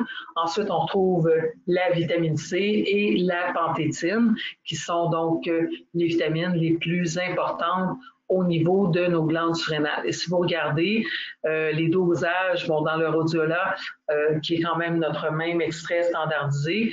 Euh, évidemment, la dose va être beaucoup moins élevée et la shwaganda aussi, parce que là, on est dans une synergie de principes actifs que si vous prenez, par exemple, le Relax and Recharge, mais vous avez des vitamines et vous avez de l'extrait glandulaire. Comme je vous disais, euh, le produit existe en formule vegan. La différence, c'est qu'il n'y aura pas d'extrait glandulaire à l'intérieur, mais ça va être exactement la même formule. Efficacité thérapeutique, on prend les glandes. Objection philosophique, on le prend vegan. Donc, euh, on a un format de 120 et de 240 capsules. Moi, je vous recommande fortement le 240 parce qu'on est tous pareils. Quand on va mieux, on arrête de prendre nos suppléments. Et ça, c'est problématique avec les surrénales parce que rapidement, on se sent mieux avec un produit comme celui-là, mais ça ne veut pas dire que l'énergie de la surrénale est récupérée complètement. Donc, si on a un pot plus gros, euh, c'est un incitatif à en prendre plus longtemps. Mais des surrénales épuisées, c'est un trois mois de traitement. Je ne vous dis pas que vous vous sentirez pas mieux. Une semaine après, vous allez vous sentir mieux. Mais si on parle de vraiment récupérer l'énergie de fond de notre surrénale, on parle facilement d'un trois mois de traitement. Donc, aussi bien d'y aller tout de suite avec le plus gros format. Alors, si on s'en tient à la logique que je vous expliquais tout à l'heure, ça serait aussi du 4 par jour. C'est rare qu'on a besoin, avec l'ortho-adapt aussi, de donner 4 par jour. Moi, ma petite recette secrète, euh, pas du colonel, mais de Chantalane, c'est deux ortho-adapt et un tiro support. Donc, je donne euh, un ortho-adapt avec un tiro support le matin, un ortho-adapt le midi, et si les gens ont des problèmes d'insomnie, des fois, je le donne le soir. Vous allez me dire, ouais, mais ça supporte les surrénales, ça va les tenir réveillés. Oui, mais la synergie fait qu'on équilibre la production d'hormones de stress et donc, quand on est dans cet état euh, qu'on appelle tired but wired, là où on a le stress qui est déclenché dans la journée, on est fatigué le soir, mais on n'arrive pas à tomber endormi, à ce moment-là, ça va être très aidant euh, d'avoir notre ortho-adapt du soir. Donc, à vérifier si c'est mieux le midi ou le soir avec la personne. Et donc, pourquoi je le combine avec le tyrosupport? Ben, on a vu l'impact du stress sur la thyroïde, mais à chaque fois que nos surrénales sont épuisées, la thyroïde va essayer de compenser. Donc, ça génère euh, un épuisement. Euh, au niveau de notre, de notre thyroïde. Donc, bien important de supporter les deux en même temps. Si par contre, on fait face, comme dans mon cas, euh, quand par exemple je vois que j'ai une espèce de laryngite qui dégénère en bronchite et que j'arrive pas à remonter la côte, je vais prendre à ce moment-là 4, 6, 8 orthoadaptes dans une journée. J'en ai déjà pris 16 par jour. J'ai fait ça trois jours de temps. Je suis complètement sortie euh, de cette histoire de bronchite qui en finissait pas. Donc, euh, c'est des dosages extrêmes. Je vous dis pas de le faire. C'est juste pour vous dire de ne pas avoir peur du produit, mais qu'en même temps, ce n'est pas habituellement nécessaire d'y aller à 4 par jour. Ensuite, on a parlé euh, de l'axe hypothalamo-hypophyso-surrénalien. Eh bien, quand on fait toujours face à ce stress chronique, ce qu'on voit, c'est que la libération d'hormones CRH, ACTH et cortisol va créer une rétroaction négative. C'est le même principe qu'au niveau de la production de nos hormones stéroïdiennes, euh, estrogène, progestérone. Quand il y en a suffisamment dans notre circulation sanguine, il y a un retour, une rétroaction négative qui revient au cerveau à viser, c'est bon, on scanne, on a assez d'hormones en circulation. Qu'est-ce qui arrive avec la réaction de stress qui devient chronique? C'est que éventuellement, l'hypothalamus et l'hypophyse vont devenir désensibilisés au retour, au message de retour euh, du cortisol. Donc, vraiment, c'est problématique parce qu'à ce moment-là, euh, même si on est bombardé d'hormones de stress, eh bien, l'axe continue d'être stimulé et de dire produisez des hormones de stress. Alors, est-ce qu'il y a un moyen de peser sur le bouton reset pour pouvoir euh, redémarrer et resensibiliser? Oui, il y a un supplément qui fait cela et c'est la phosphatidylsérine. Donc, la phosphatidylsérine, un supplément un peu moins connu. On a beaucoup parlé des oméga 3 pour l'humeur. Moi, je suis pas une super fan des oméga 3 parce que ça demande quand même un travail digestif considérable. Et comme on est en plus dans un état de stress avec le foie congestionné, souvent périménopause, ménopause avec production accrue d'hormones, eh bien, ça devient euh, très exigeant pour le foie de gérer tout ça. Alors que la phosphatidylsérine est beaucoup, beaucoup plus facile à métaboliser. Alors, euh, chez Aware, on a une phosphatidylsérine à 100 mg par capsule, 60 capsules dans notre dans notre peau. Donc, on parle de euh, 2 à 3 par jour, euh, dosage recommandé 3 par jour, mais encore une fois, je vais actuellement à 2. Alors, ça permet de réduire le taux de cortisol, d'augmenter la fonction cognitive. Donc, les gens aussi qui euh, sentent que leur cerveau est affecté par euh, le stress vont particulièrement apprécier la phosphatidylsérine. Euh, la phosphatidylsérine, dans ce cas-ci, est faite à partir de l'huile de tournesol certifiée bio pressée à froid, un produit breveté SON PS. Euh, et donc, euh, on dit l'EPS peut resensibiliser, les cellules de l'hypothalamus et de l'hippocampe au cortisol afin qu'elles entendent à nouveau le message de rétroaction et réduisent la CRH et la CTH, ce qui diminue la production de cortisol. Donc, on peut moduler le taux de cortisol avec des plantes comme le rhodiola ou on peut faire encore mieux et dire oui, on va moduler, que ce soit avec Relax and Recharge, avec Rhodiola, avec Orthoada, et resensibiliser au niveau du cerveau, faire l'espèce de reset. Le PS, on n'est pas obligé de le prendre tout le temps, mais vous allez voir qu'au niveau cognitif, les gens l'apprécient beaucoup. Donc, des fois, les gens vont continuer à le prendre. On peut le faire deux mois, trois mois, on arrête un mois, deux mois, on le reprend. Donc, euh, ça peut être une bonne façon de gérer ça. C'est vraiment un supplément euh, à connaître, le PS, si vous ne l'avez pas déjà essayé. Euh, essayez-le pour vous-même et puis testez-le avec ce genre de clientèle. Ensuite, euh, un autre produit complémentaire à la phosphatidylsérine qui serait aussi un bon remplacement des oméga 3 ou même un complément, c'est l'inositol. Donc, l'inositol, on le connaît plus dans son rôle au niveau du métabolisme des gras. Donc, choline, inositol, on avait ça beaucoup dans les suppléments sportifs pour favoriser l'émulsion des gras. Mais ça ne fait pas que ça. L'inositol, euh, très important au niveau euh, des neurotransmetteurs et de la signalisation. En fait, c'est ça que l'inositol va faire, c'est vraiment favoriser euh, la communication entre les cellules, parce que le neurotransmetteur, c'est ce qui transporte le message, et la sensibilité au message, c'est le travail de l'inostole. Et l'inostole, ce que j'aime beaucoup, c'est le donner en poudre comparativement aux euh, capsules parce qu'il faut aller dans des dosages assez élevés. On parle de 12 à 18 euh, grammes par jour. Donc, avec des capsules, ça en prend vraiment beaucoup pour arriver là. Mais en poudre, ça se prend très bien. Et l'autre avantage, c'est qu'en poudre, on peut vraiment euh, procéder à un dosage graduel, justement parce que ça a un impact au niveau de l'émulsion des gras, ça peut donner des selles plus molles, ce qui, dans certains cas, est, un gros avantage. Donc, euh, il y a deux formes euh, d'inostol, la forme myo et la forme chiro. le myo est en général euh, celui qui, est le plus abondant dans le système nerveux central. Alors, au niveau des applications, bon, euh, il y a des, études qui sont faites au niveau des ovaires polykystiques. Donc, si on est en trouble menstruel, problème de fertilité, ça peut être intéressant avec des doses quand même assez euh, considérables. au niveau du système nerveux, qui est notre sujet d'aujourd'hui, au niveau des attaques d'anxiété, de panique, par exemple l'agoraphobie, euh, on a eu des résultats comparables à la fluvoxamine, qui est un inhibiteur de recaptage de la sérotonine, mais sans évidemment les effets secondaires associés aux antidépresseurs. Ensuite, euh, dans le cas de la dépression, même chose, comparable aux antidépresseurs euh, dans les troubles de l'humeur. Et ça se fait assez rapidement. C'est ça qui est intéressant également. On parle d'environ deux semaines de traitement pour commencer à voir une amélioration. Les antidépresseurs classiques, c'est six semaines de traitement. Donc, évidemment, il faut continuer à les prendre, mais les gens se sentent bien assez rapidement. L'autre chose qui est super aussi, c'est que vous n'êtes pas obligé, euh, disons que quelqu'un prend des antidépresseurs classiques, voudrait faire un sevrage ou euh, veut continuer à le prendre, mais sans que ça ne fait pas tout à fait le travail. Euh, ça aide le sommeil, mais c'est-à-dire ça aide la dépression, mais pas le sommeil. Vous pouvez très bien combiner l'inositol, la phosphatidylsérine aux antidépresseurs classiques.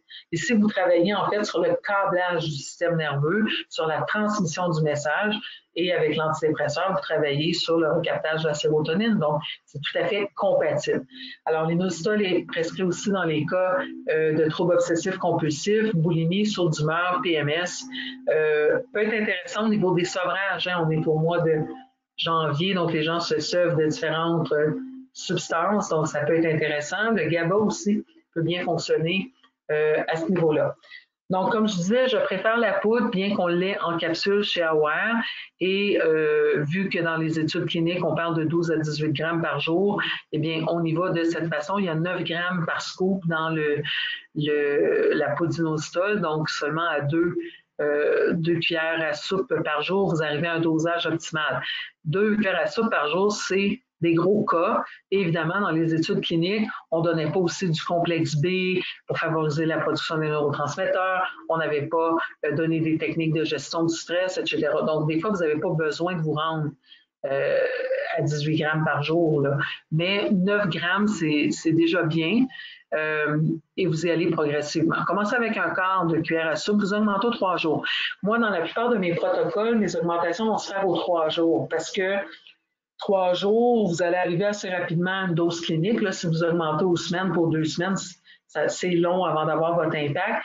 Et si vous allez plus vite que ça, si vous augmentez tous les jours et qu'il y a un effet secondaire, mais la personne va avoir euh, rapidement la, voiture dans le ravin. Donc, on est mieux euh, d'y aller un petit peu plus doucement. Trois jours, c'est une bonne fenêtre thérapeutique.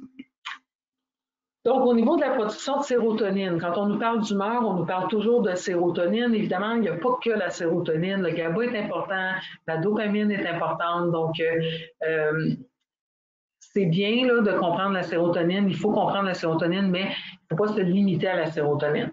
Donc, la sérotonine, comme je le mentionnais tout à l'heure, ça part des protéines. On en extrait le tryptophane qu'on convertit en 5-hydroxytryptophane ou 5-HTP qui est converti en sérotonine et éventuellement en mélatonine. Pour ça, il faut avoir des protéines, il faut avoir de l'acidité chlorhydrique. Donc, comme je vous disais, faire attention à la question des inhibiteurs d'acide chlorhydrique. Euh, ça prend des enzymes, tryptophane hydroxylase, dopane et carboxylase, du SAMI et de la méthionine éventuellement dans le cycle, euh, dans le cycle du carbone. Donc, pour activer ces enzymes qui sont à droite, on a besoin des cofacteurs enzymatiques qui sont à gauche, qui sont des vitamines du groupe B pour la plupart, le fer, calcium, zinc et magnésium également. Et donc, la B6, vous voyez qu'elle est à deux endroits dans la conversion euh, des protéines en sérotonine et éventuellement en mélatonine. Donc, vous ne pouvez pas, si vous êtes carencé en vitamine B6, fabriquer de sérotonine ou en B1 ou en B3 ou en folate ou en B5. Donc, morale de l'histoire, dès que vous voulez faire quelque chose pour le système nerveux, il faut absolument donner les vitamines du complexe B.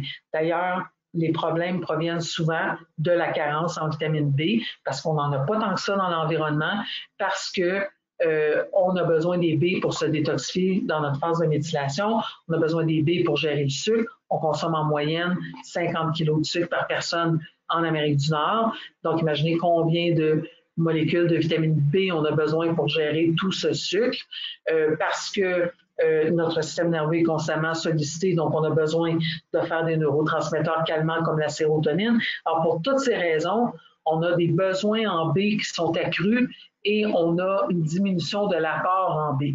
Alors, la plupart des gens sont carencés dans une des B. Et là, ici, je ne tiens même pas compte des potentiels polymorphismes génétiques, d'où l'intérêt de faire un test comme euh, le My Blueprint qu'on a vu plus tôt. Alors, les vitamines B, je pense que pas mal tout le monde sait ce que ça fait. Mais si vous regardez plusieurs des problèmes dont les gens se plaignent ces temps-ci, euh, sont en lien avec la carence en vitamine B. D'ailleurs, dès que les gens parlent de fatigue, euh, des fois, ils nous disent je, pense que j'ai besoin d'un supplément de fer parce que je suis constamment fatiguée. Et la fatigue, c'est le premier symptôme d'une carence dans n'importe laquelle des vitamines du groupe B. Donc, avant de donner du fer, je ne veux pas dire qu'éventuellement, on ne pourrait pas donner du fer, mais l'autre affaire, c'est que le fer s'accumule dans le corps, il produit des radicaux libres, donc ce n'est pas une bonne idée d'en avoir en excès. Les vitamines du groupe B, vous les urinez au fur et à mesure, donc vous ne pourrez jamais causer de dommages en donnant des vitamines B à quelqu'un. Alors, on a deux choix. On a euh, le Advanced B complexe régulier ou l'ultra. La différence entre les deux, c'est que le régulier est en capsule, l'ultra est en comprimé. Et l'ultra a des formes plus avancées de certaines vitamines, les plus récents. Donc, on a par exemple trois formes de vitamine B12. Ça, ça peut être pertinent, par exemple, pour les gens qui sont des surméthylateurs. En général, on est des hypométhylateurs, mais pour les hyperméthylateurs, la vitamine B12 sous forme de méthylcobalamine peut être trop stimulante. Alors, c'est préférable pour ces personnes d'avoir les trois formes euh, de vitamine B. 12 euh, et euh, on a quoi? On a le PQQ qui est rajouté pour la santé cardiovasculaire, cognitive, production d'énergie. On a la niacine sous la forme niacine et non pas niacinamide. Donc, pour la sphère cardiovasculaire, c'est intéressant aussi. Donc, il y a des formes plus avancées.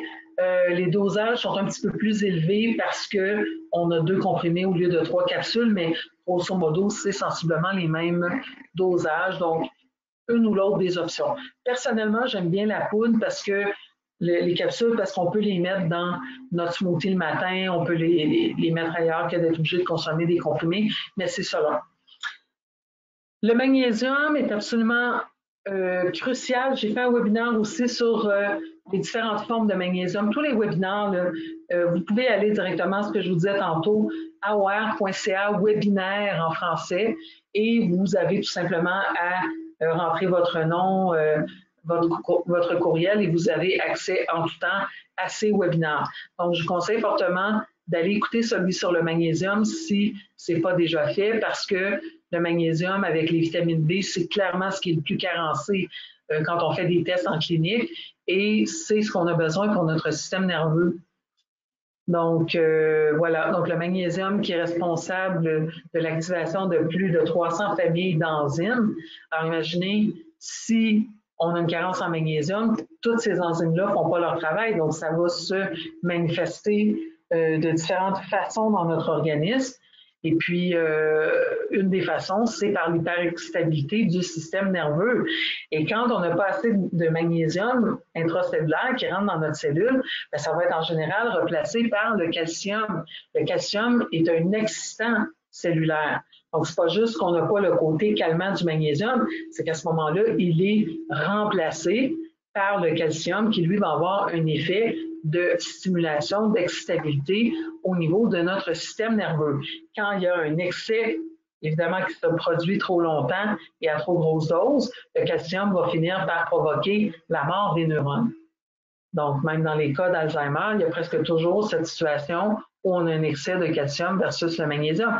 Attention, je ne suis pas en train de vous dire qu'il ne faut pas donner de calcium, le calcium va, tuer votre cerveau. Je suis en train de vous dire que la carence en magnésium a pour effet de laisser l'espace libre pour le calcium et le calcium se retrouve où il ne devrait pas.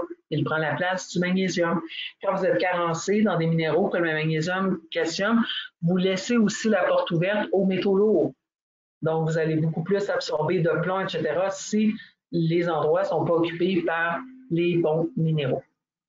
Alors, on a vraiment plusieurs options euh, de magnésium chez Aware. J'ai choisi, dans le cas du stress, de vous parler du magnésium synergie. Encore une fois, il est en poudre. Moi, j'aime bien tout mettre dans les produits du matin. Ça, ça en fait moins dans la journée. Là, je sais que vous allez me dire, ouais, mais c'est-tu mieux de prendre deux fois par jour, les vitamines B? Oui. Oui, c'est mieux de répartir les doses, mais il y a le protocole idéal et le protocole réaliste. Bon, ces gens sont à la maison, puis ils peuvent se mettre des petites alertes, des petites alertes sur leur téléphone et puis séparer les doses, c'est excellent. Mais en général, on a tendance à les oublier si on a plusieurs doses. Donc, c'est pour ça que j'aime ça essayer d'en donner le plus possible le matin. Magnésium Synergie, en poudre, petite saveur de citron, fizzy un peu. Euh, donc, on peut le prendre dans l'eau, notre bouteille d'eau, euh, l'eau qu'on prépare pour la journée qu'on met sur notre bureau. Ou on peut aussi le prendre dans une tasse d'eau chaude le soir. Moi, j'aime bien cette façon-là. Il y a des molécules soufrées à l'intérieur, par contre, qui vont avoir une odeur un peu plus forte dans l'eau chaude que dans l'eau froide, euh, mais les deux options sont valides.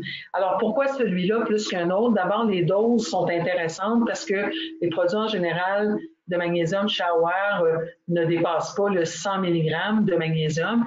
Alors ici, on a euh, quand même des doses intéressantes et une combinaison de malate, de glycinate de magnésium, donc deux formes très biodisponibles et complémentaires. On a aussi la combinaison avec euh, glycine, qui est un précurseur du GABA, donc le côté calmant de la chose. Euh, on a taurine qui va supporter notre foie, qui va supporter notre système cardiovasculaire. On a tous les petits oligo-éléments comme le chrome qui vont avoir un impact au niveau de la gestion de notre taux de sucre. Donc, des facteurs qui peuvent tous contribuer euh, à, l'exstabilité du système nerveux euh, si on ne les a pas. Donc, tant qu'à donner encore une fois un magnésium, aussi bien en donner un qui va s'attaquer à encore plus de déséquilibre que si on donne le magnésium tout seul. Maintenant, si les gens ne veulent pas un produit en poudre parce qu'ils préfèrent avoir des capsules qui peuvent traîner avec eux, vous pourriez, par exemple, recommander le magnésium euh, euh, complexe qui, à ce moment-là, va euh, vous donner les différentes formes de magnésium dans une même capsule. Si c'est le manque d'énergie qui est très présent, j'irai plus avec le magnésium malade, par exemple. Donc, si vous voulez voir les subtilités, comme je vous disais, il y a un webinaire à cet effet sur le site d'Aware. Si vous ne le trouvez pas, vous pouvez toujours demander, me le demander ou demander à Sophie, mais euh, normalement, vous les trouvez facilement sur le site. Ensuite, on a vu que la vitamine C était euh, importante pour nos glandes surrénales. Eh bien, euh, tant qu'à donner encore là de la vitamine C, je vais en profiter pour donner une vitamine C qui va euh, ratisser plus large que de la vitamine C tout seul. On a de la vitamine C avec bioflavonoïdes, c'est un très bon rapport qualité-prix, euh, surtout parce que c'est un gros format, donc vous pourriez très bien aller dans celle-là. Moi, j'aime celle-ci, elle avait été euh, conçu spécifiquement pour la sphère cardiovasculaire euh, parce que ça travaille beaucoup les artères, les capillaires, donc tout le système cardiovasculaire grâce à des acides aminés comme la lysine, la proline, mais ces acides aminés aussi qui sont importants pour le collagène. Le système cardiovasculaire contient beaucoup de collagène. Donc, euh, pour la peau, pour notre masse osseuse, nos cheveux, toutes ces choses. Moi, j'aime bien celui-là. Je prépare ça. On a du collagène shower. On peut prendre le collagène si vous voulez. Moi, je préfère toujours donner les substances de base et laisser le corps faire ce dont il a besoin. On trouve encore une fois la taurine. Euh, la taurine peut se substituer jusqu'à un certain point au magnésium, travailler l'émulsion des gras comme on a parlé. Donc, euh, l'aspect cholestérol si ça nous concerne. Euh, et donc, magnésium, potassium, calcium qui sont présents dans les bonnes euh, proportions dans ce produit de vitamine C, encore une fois, qui est en poudre. Vous pourriez très bien, vous prenez le magnésium synergie, vous rajoutez votre ortho-C à l'intérieur. Donc là, vous travaillez pas juste votre système nerveux, évidemment, je mettrai des B dedans aussi, mais vous travaillez aussi tout le système cardiovasculaire qui est souvent un des premiers systèmes touchés, évidemment, par euh, le stress chronique, mais évidemment, tout le collagène dans l'organisme. Donc, c'est un produit qui est intéressant. Euh, une cuillère à soupe pour avoir les dosages euh, qu'on recommande ici.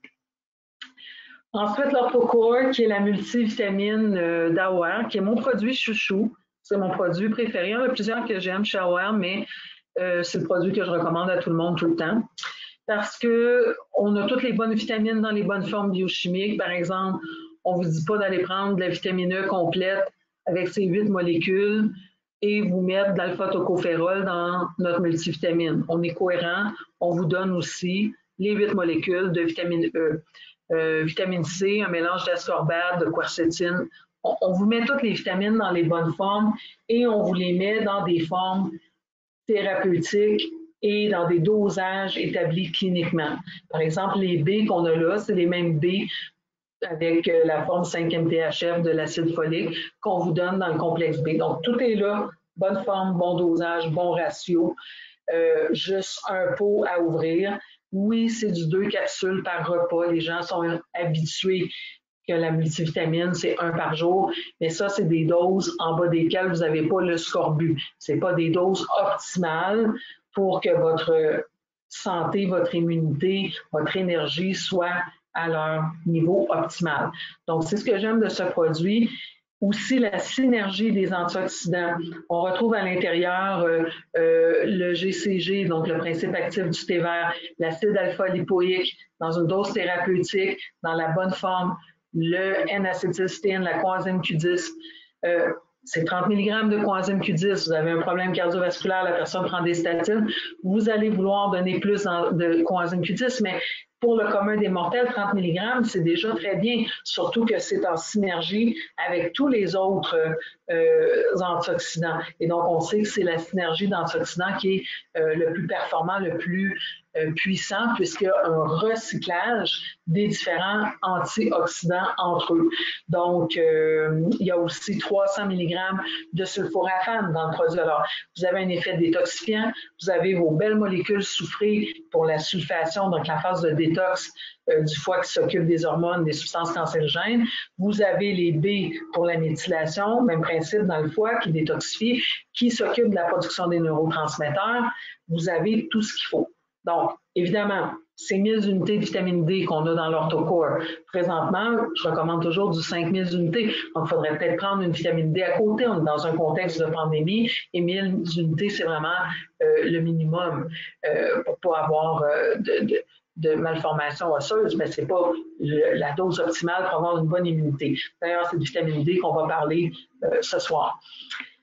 Euh, donc, la théanine. Euh, la théanine est un autre supplément intéressant pour la gestion du stress. C'est un acide aminé extrait du thé vert qui favorise la production d'ondes alpha dans le cerveau.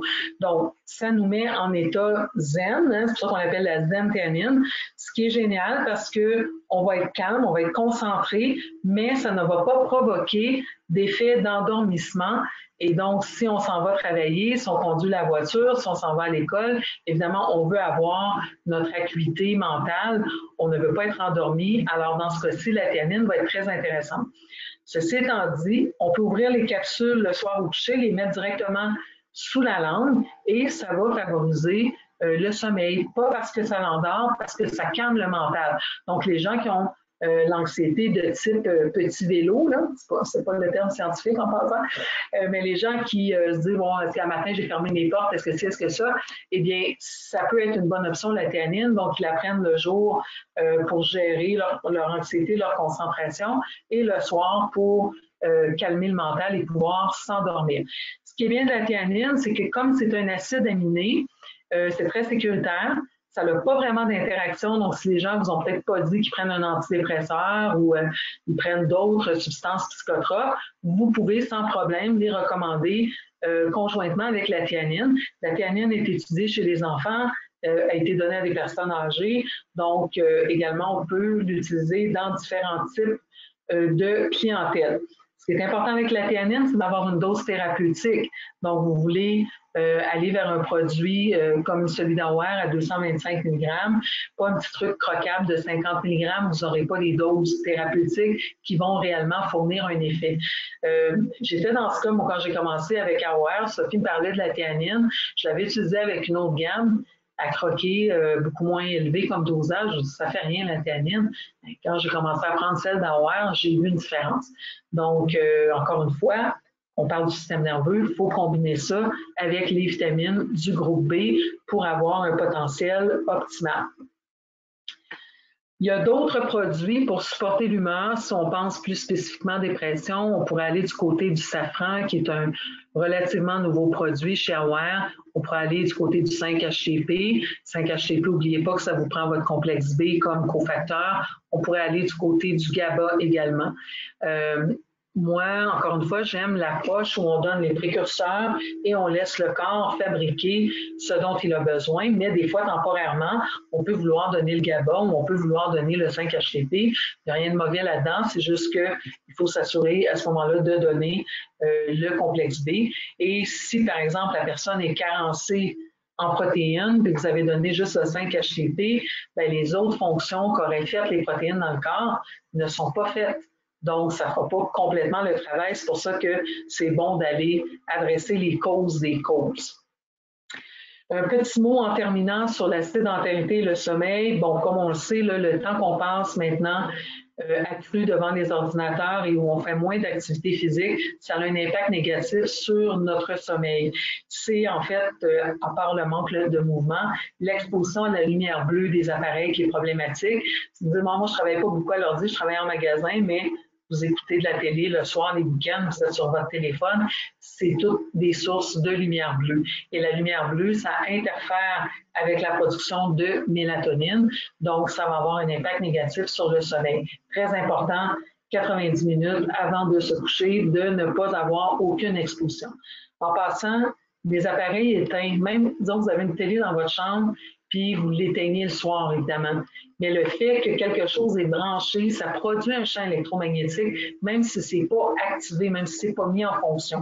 Donc, il faut vraiment essayer euh, de ne pas avoir d'appareils euh, euh, qui fonctionnent à l'électricité dans nos chambres à coucher le plus possible. Si malgré tout ça, vous avez un trouble de sommeil, euh, évidemment, si, votre organisme ne récupère pas comme il faut, vous allez ressentir l'effet du stress de manière accrue. Donc, c'est mieux de favoriser le sommeil. Orthoc fonctionne super bien. Ce qui est génial, c'est que c'est un produit symptomatique. Donc, vous, vous, avez le symptôme, vous prenez le produit. C'est pas un produit que vous avez besoin de prendre tout le temps. Donc, vous pouvez prendre, euh, ce soir, ça ne marche pas, je prends mon orthosleep ou j'ai une grosse journée demain, je vais être sûr de bien dormir, je prends mon orthosleep. Vous êtes obligé de le prendre tout le temps. Donc, c'est une combinaison théanine, mélatonine, GABA, valériane, passiflore, mélisse. Pourquoi on met 5-HTP euh, et mélatonine dans le même produit? C'est parce que la mélatonine, qu'est-ce qui arrive quand on la prend à 10 heures? À 2 heures du matin, on est réveillé. La demi-vie de la mélatonine est 4 heures. Si vous prenez le 5-HTP qui va être converti en sérotonine puis en mélatonine, eh bien, il va commencer à être actif environ trois heures après son ingestion. Alors, quand l'effet de la mélatonine va descendre, vous allez avoir l'effet du 5-HTP qui va clencher. Donc, c'est vraiment euh, une belle combinaison qui fonctionne très bien. Oui, il y a de la valériane. On sait qu'il y a des gens qui ont un effet paradoxal avec la valériane, mais le fait ici que c'est une synergie, c'est très, très, très rare euh, que ça arrive. C'est un produit qui, qui, se vend bien et sur lequel on a très peu de retours. Donc, c'est deux au. L'axe intestin-cerveau, euh, juste rapidement pour vous rappeler que l'état de notre microbiote a un impact direct sur notre cerveau. Et c'est ainsi avec le, lavage des mains euh, obsessif, là, on peut ingérer des substances qui ont un impact négatif sur notre microbiote, comme le triclosan. Donc, le triclosan qu'on trouve dans la plupart des produits euh, en vente libre, à moins de fabriquer soi-même son, son mélange, par exemple à base d'huile essentielle. J'ai d'ailleurs une recette sur, mon, sur mon site web. Donc, le triclosan est interdit aux États-Unis, mais curieusement, euh, au Canada, il est permis. Et le problème, c'est que oui, c'est vrai que ce pas des quantités monstres dans un lavage de main, mais si vous regardez la quantité de fois qu'on se lave les mains durant la journée, bien évidemment, il va y avoir un effet cumulatif du triclosan qui va devenir euh, euh, problématique et qui peut avoir un effet perturbateur vraiment au niveau du microbiote.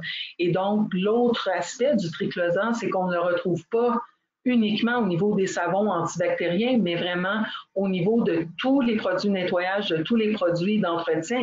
Donc, encore une fois, il faut penser effet cumulatif. Et les gens pensent à tort que ce qu'on applique au niveau de la peau, au niveau de l'épiderme, ne va pas se rendre au niveau de notre circulation, mais c'est une fausse assumption.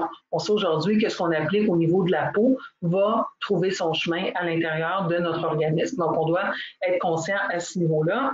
Je vous ai cité aussi des études justement sur le triclosan et le microbiome. Euh, donc, des études qui montrent que ça perturbe comme tel les bactéries, mais aussi l'équilibre entre les différentes communautés euh, de bactéries intestinales. Alors, ça serait une très bonne idée, puisque de toute façon, on sait que 80% de notre immunité se trouve dans notre système digestif, de recommander un probiotique. On ne connaît pas toujours bien les probiotiques d'Aware. Je vous recommande de les étudier. On fera un webinaire le mois prochain sur euh, cette thématique, mais euh, d'ici là, vous pourriez aussi consulter le webinaire euh, sur l'immunité que j'avais fait au printemps. Toujours le même principe, aware.ca webinaire. Et donc, le probiotique avancé serait ma suggestion pour l'immunité. Probiotique 3 est excellent aussi. J'ai choisi celui-ci parce que dans les sept souches dont cinq d'origine humaine, donc qui vont bien s'implanter dans l'intestin. On en a deux qui travaillent sur l'équilibre TH1, TH2, donc qui renforcent notre immunité, mais en calmant l'aspect auto-immun allergique euh, qu'on pourrait avoir euh, quand on a une, espèce de déséquilibre euh, justement à ce niveau-là entre TH1 et TH2. Donc, ça fait pas mal le tour au niveau des autres sources le blog est en anglais, mais euh, cette semaine, je travaillais sur des traductions en français. Donc, j'imagine qu'on va fournir un peu mieux le blog en français d'Aware. Mais dans mon infolettre, euh, j'ai toujours euh, des blogs à tous les mois sur des sujets évidemment en lien avec l'actualité. Et donc, allez consulter à votre aisance, au moment qui vous convient, la page des webinaires sur Aware pour euh, pouvoir à ce moment-là faire votre éducation sur euh, nos produits. Et je vous rappelle que deux fois par mois, on a les rencontres, euh, je les ai appelées les 19-20 de 2021, donc 7 à 8, où on va parler d'un produit. On commence par deux fois par mois et puis on verra, on va s'adapter selon vos besoins avec le temps. Donc, ça conclut pour moi le webinaire d'aujourd'hui. Je vais ouvrir euh, les micros de tout le monde une petite seconde pour voir si vous avez. Ah, je suis contente, il y a encore euh, sept personnes de présentes. Je vais ouvrir vos micros. Euh, si vous avez des questions, parce que je ne peux pas évidemment lire les questions en même temps que, que je fais la, la, la présentation. Bon, donne-moi une petite seconde. On ouvre ça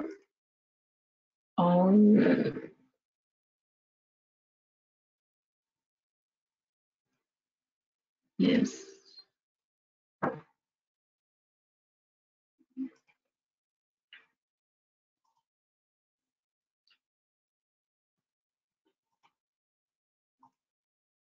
Donc, en principe, les micros sont ouverts. Il faut de votre côté les ouvrir aussi euh, si vous voulez parler. Si jamais ça ne fonctionne pas, je vois une petite main levée. Katia, la petite main? Euh, non, c'est parti. On a Patricia qui avait une question. Euh, est-ce qu'on pourrait prendre trois capsules en avant-midi Et trois, au souper, j'imagine, oui, c'est ça, on parle du autocorps. Oui, on pourrait absolument. On pourrait absolument, euh, tout à fait, parce que des fois, le midi, c'est plus difficile, on l'oublie. On pourrait absolument. Puis honnêtement, dépendamment, si vous avez un patient ou un client qui ne consomme pas d'autres suppléments et que, bon, c'est une nouvelle personne qui s'intéresse à sa santé, qui est peut-être un fumeur, tout ça, vous allez aller absolument vers le 6 capsules par jour. Si on a affaire à des gens euh, votre clientèle régulière. Vous savez qu'ils mangent bio, vous savez que ce pas des fumeurs, qui font attention aux métaux lourds et tout ça. Vous pouvez aussi vous permettre du 4 par jour parce que souvent, justement, vous voulez supplémenter de différentes façons. C'est peut-être quelqu'un qui prend euh, le produit plus de la vitamine D, plus de la vitamine C. Donc, vous pouvez, dans ces cas-là, vous permettre deux le matin, deux au souper. Ça serait une bonne option aussi. Euh, est-ce que j'ai d'autres questions? Bon, je sais pas, je oui, les autres, en fait, vous êtes euh, auto, votre micro est auto-éteint euh, pour les autres personnes. Donc, euh, je ne sais pas s'il y avait d'autres questions. Sophie, est-ce que tu veux, Sophie, laisse-moi voir. Sophie, Sophie. Sophie, aurais-tu un petit mot de la fin que tu voudrais nous, nous partager? Ouais, non, le micro n'est pas allumé. Euh, en tout cas, Sophie, si tu veux faire un petit mot de la fin, euh, fais-moi signe. Mon son est coupé, je ne m'entends plus. Laisse-moi vérifier ce qui se passe là. Euh, Sophie. de mon côté, il est correct ton son, Sophie. Donc, c'est peut-être toi à vérifier. si tu cliques sur le petit micro, qu'est-ce qui peut arriver là? De mon côté, ça semble être OK. Ah, là, c'est bon. Ça devrait être bon, Sophie? OK, allô? Allô? OK, là, j'ai rien entendu depuis la dernière minute. Est-ce que tu m'as posé une question ou? Ah, je voulais juste savoir si tu voulais nous faire coucou puis euh, faire un petit mot de la fin. Oui, oui, certainement, certainement. Mais tout d'abord, merci Chantal pour cette présentation hyper pertinente, comme toujours, tout à fait en lien avec euh, la réalité actuelle. Euh, ben, en tout cas, je crois que tu nous as donné euh, plusieurs outils euh, pour faire face au stress, pour aider les gens, la clientèle, donc aider les conseillers à bien conseiller, bien guider leur, leur clientèle. J'espère que vous avez apprécié tout le monde et merci à toutes aussi. Je crois qu'on est juste des filles en ce ah moment Oui, pour votre participation matinale. Merci à Chantal aussi de t'être levée si tôt pour ça. C'est ça qui est dur, c'est pas la présentation. Pardon? Je dis, c'est ça que l'aspect qui est difficile, c'est pas la présentation. oui, c'est ça, oui, je sais. Euh, c'est ça, on a parlé de quelques produits là, de PS1, inositol, euh, Relax and Recharge, probiotiques, peut-être des produits que vous ne tenez pas à Coop Laman. Euh, mais vous savez que vous avez droit à un produit suite comme un cadeau de formation. Donc, euh, si ça vous intéresse, vous pouvez euh, vous les commander pour vous-même. Euh, je pense que de les connaître, c'est des produits ultra pertinents. donc, de les connaître pourra faire en sorte aussi que vous puissiez les introduire. aussi, l'autre chose, c'est que dans les, produits que vous allez choisir, j'ai besoin de deux produits. C'est-à-dire, si vous commandez le Orthocore, puis on ne l'a pas en ce moment, justement, mais ça se peut qu'il arrive demain, euh, mais si on ne l'a pas au moment où on traite votre commande, ben, on, en ait un, qu'on ait un deuxième choix.